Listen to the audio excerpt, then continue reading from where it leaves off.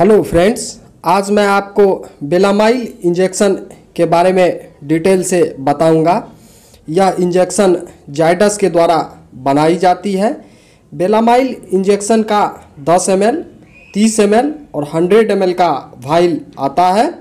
आप अपने सुविधा अनुसार इसमें से कोई भी वाइल को उपयोग में ले सकते हैं। सामान्यतया इस इंजेक्शन का पशुओं में उपयोग तब किया जाता है जब पशु का भूख गड़बड़ा जाता है। हम देखते हैं कि पशु जब भी बीमार पड़ती है तो सबसे पहले पशु का भूख गड़बड़ा जाता है तो भूख को, पशु के भूख को ठीक करने के लिए इस इंजेक्शन को उपयोग में लिया जाता है। जब कभी हम एंटीबायोटिक इंजेक्शन का उपयोग करते हैं, तब भी पशु का भूख प्रभावित होता है।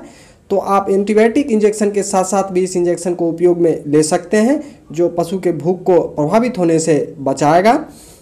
बेलामाइल इंजेक्शन में की कॉम्बिनेशन की बात करें तो इसमें thiamine vitamin B one, riboflavin vitamin B two, nicotinamide vitamin B three और विटामिन बी ट्वेल्व मिलाया गया है। इसके साथ साथ इसमें लीवर एक्सट्रैक्ट क्रूड भी मिला हुआ है।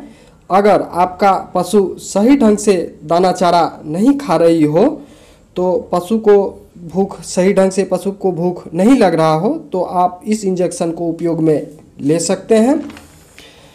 बेलामाइल इंजेक्शन में विटामिन बी ट्वेल्व दिया हुआ है, जो पशु के तंत्रिका तंत्र को स्वस्थ बनाए रखता है और रक्त कणिका को भी स्वस्थ बनाए रखता है। अगर आपके पशु में लीवर से संबंधित किसी भी प्रकार की समस्या हो तो आप इस इंजेक्शन को उपयोग में ले सकते हैं।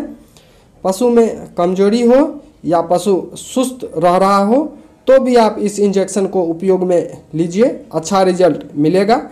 एंटीबायोटिक इंजेक्शन एवं बॉलस के उपयोग अगर आप कर रहे हैं पशु के उपचार के लिए तो इसके साथ साथ आप बेलामाइल इंजेक्शन को सपोर्टिव मेडिसिन के रूप में उपयोग में ले सकते हैं। एंटीबायोटिक इंजेक्शन और बॉलस का जो निगेटिव प्रभाव होता है, उसको ये कम करता है और पशु के भूख को प्रभावित होने से बचाता है। और पशु अगर कमज़ोर है तो कमज़ोरी से निपटने में पशु को मदद करता है। इस इंजेक्शन की डोज का बात करें तो बड़े पशुओं में 10 से 15 एम इंजेक्शन लगाना है, एक दिन छोड़ एक दिन। और इस इंजेक्शन को आईएम रूट से दिया जाता है। छोटे पशु में इंजेक्शन की डोज की बात करें तो तीन से पाँच एम तक इंजेक्शन दिया जा सकता है। एक दिन छोड़ एक दिन। और आईएम रूप से ही इस इंजेक्शन को उपयोग में लेना है। इस बात का ध्यान रखेंगे। यह injection simple indigestion metabolic disease rumen की गति से संबंधित होने वाली समस्याओं में उपचार में काफ़ी बढ़िया रिज़ल्ट देता है। इसके अलावा इस इंजेक्शन को आप किसी अन्य बीमारी में भी सपोर्टिव मेडिसिन के तौर पर उपयोग में ले सकते हैं, चाहे किसी भी प्रकार का बीमारी हो, पशु को भूख में बढ़ाने में, पशु का भूख बढ़ाने में यह बहुत ही सहायक इंजेक्शन है। किसी भी प्रकार की समस्या अगर पशु में होती है तो सबसे पहले पशु का भूख ही प्रभावित होता है। तो आप किसी भी बीमारी का अगर उपचार कर रहे हैं तो उसके साथ साथ आप बेलामाइल इंजेक्शन को उपयोग में लीजिए।